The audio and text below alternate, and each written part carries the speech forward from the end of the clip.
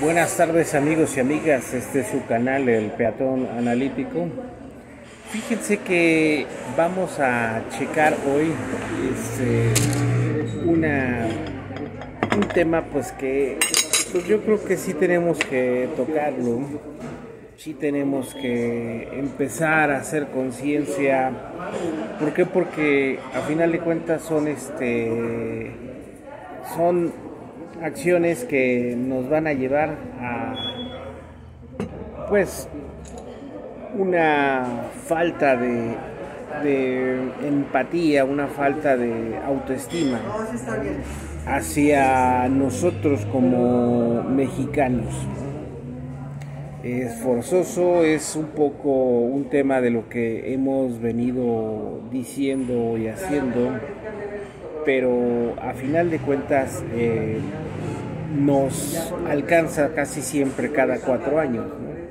Y es el tema de la selección nacional de fútbol, en la cual pues eh, siempre eh, nosotros depositamos las esperanzas en directores técnicos extranjeros o si son los nacionales, pues en este caso pues el calificar en un mundial y asistir a un mundial, pues eh, es cada cuatro años. Se debe de asistir con lo mejor que se tiene del país, pero tal parece que, pues, eh, no es cuestión de gobiernos, no es cuestión de sexenios, sino es cuestión de una continuidad una continuidad eh, en donde pues forzosamente México está llamado a ser uno de los protagonistas más fuertes a nivel internacional en este deporte. ¿Por qué? Porque es un deporte nacional, es un deporte que eh, directamente nosotros lo practicamos en todos los rincones de nuestro país y es una tradición que pues este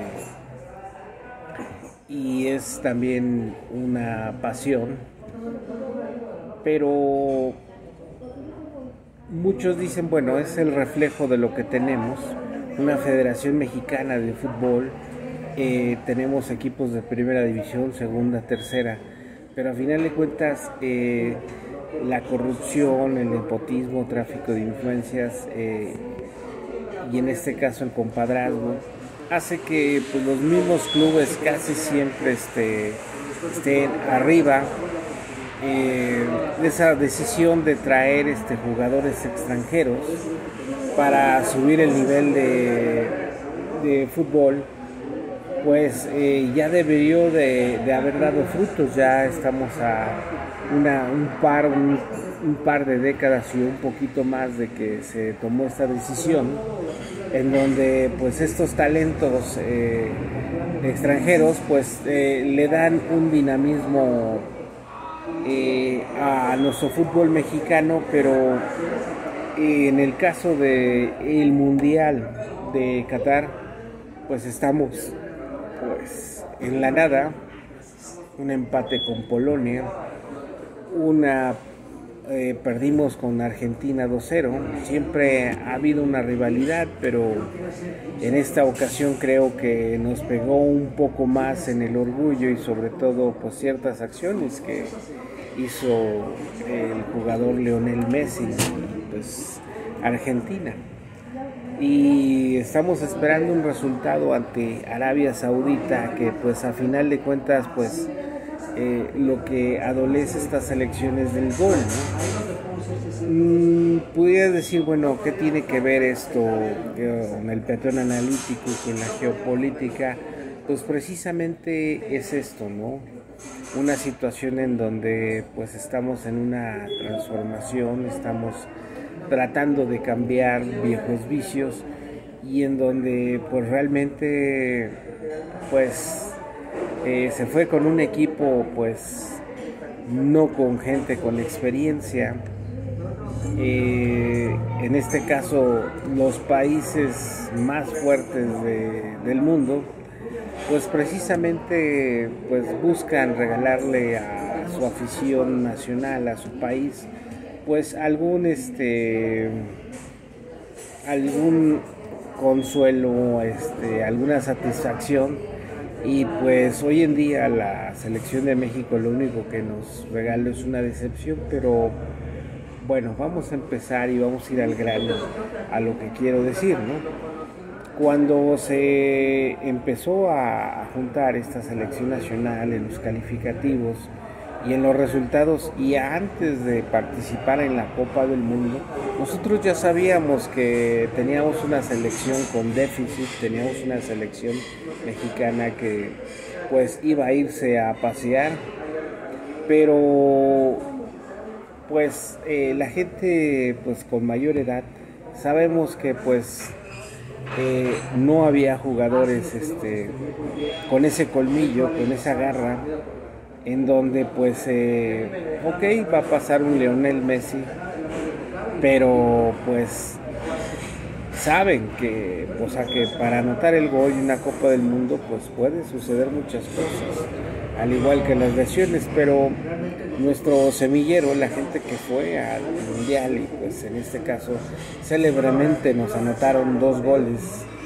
y donde pues eh, si no hubiera terminado el partido nos hubieran anotado más pues es cuando dices bueno este es un director técnico extranjero es un director técnico de, otras latitudes que le va a dar otro empuje a, a nuestro fútbol pero lo que no se vale es eh, la desilusión de las nuevas generaciones. Las nuevas generaciones que sí hay que impulsar a México, hay que ver y todo. Y creo que es la actuación eh, de fútbol de México la más desastrosa que ha habido, porque no hemos anotado ni un solo gol y al parecer vamos a ser eliminados en la primera ronda y pues eh, esto pues sí es algo fuerte hacia una selección nacional, hacia un país. ¿Por qué? Porque pues eh, las nuevas generaciones pues sí no están acostumbrados a, a ver, hay que decirles, hay que instruirles, ¿no? Que hemos tenido jugadores de primera línea que han triunfado en Europa, en varias partes del mundo, un Hugo Sánchez, un Luis García, un el Chicharito que pudo haber jugado, este, el señor Vela también, que pudo haber este, hecho un poco más por esta selección nacional, pero eh, algo, algo no está cuadrando. Y lo peor de todo es de que, pues, este, quiera o no, es un sello de, de, de la casa, un sello de un país que, pues, de alguna manera el sexenio, pues hemos avanzado en muchas cosas, en otras no. Ahorita pues tenemos dos manifestaciones, la que está a favor del INE y que en realidad este, engañan a favor del INE. Lo que sí se necesita es transformar este país, la constitución política de este país este, está hecho a modo de eh, la clase aristocrática, pero pues a final de cuentas eh, marcha cada, cada sector por sus intereses, ¿no? Y tenemos la marcha de ayer que convocada por un presidente, esto es histórico, y la gente que lo apoya, y pues eh, al parecer las elecciones se adelantaron, y pues eh, tenemos proyectos distintos de nación, pero lo que cabe decir y lo que cabe ver es que de alguna manera no se aflijan, no eh, se corten las venas con un pan bimbo. ¿Por qué? Porque esa selección es el reflejo cómo está nuestro país. Y en este caso tenemos que analizar, observar, eh, en este caso esa selección que fue el director técnico, los preparativos, y vamos a ver una realidad cruel, una realidad fuerte. Pero eso no quita eh, el dedo del renglón que nos falten al respeto como país, ¿no? como nación. Y pues en este caso, pues eh, este señor Leonel Messi, yo en lo particular, pues este será buen futbolista, pero no es este no es de mis favoritos, o sea, tampoco no le llega ni tantito a, a Maradona, ¿no? Maradona que era una figura, era en este caso surgido del pueblo, y acá el señor Messi, pues sus actitudes, pues desgraciadamente fuimos con un equipo casi casi juvenil, un equipo con ciertas características muy limitadas. Y pues si se piensa futuro, pues posiblemente en unos cuatro años eh, quienes les preste Dios vida, pues lo verán, quien no, pues se quedarán con ese sabor de boca, pero eh, aterrizándolo geopolíticamente, eh, los resultados de toda una nación siempre y de a nivel mundial es precisamente eh, lo que nos está sucediendo. En este caso no sé si la actuación de Rusia, de Estados Unidos, de Alemania, Polonia, que sí está muy activo, una Ucrania que no, está en el Mundial, eh, Canadá, Europa, o sea, a final de cuentas es lo que está sucediendo y lo que cada una de las naciones le invierte a su imagen, ¿no? Porque la selección nacional es una imagen corporativa, es una imagen de todo un país y pues desgraciadamente ese es el nivel de la imagen que nosotros le invertimos a, a que quisimos dar hacia el mundo con esta selección que enviamos. Entonces,